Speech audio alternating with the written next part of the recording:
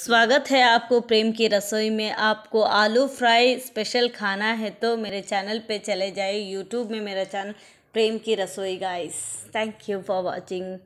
my video